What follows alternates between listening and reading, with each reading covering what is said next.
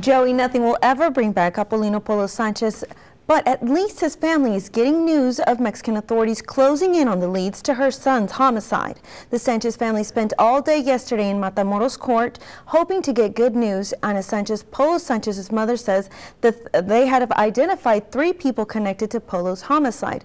Three men, two adults, and a 17-year-old and a 17-year-old. On May 24th, authorities found Polo's body near a cemetery in Matamoros.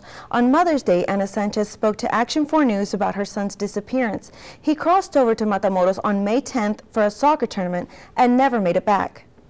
The family is glad that they are finally getting some closure. We will, of course, bring you up to date on the very latest information on this case. Reporting live from the studio, Veronica Gallegos, Action 4 News.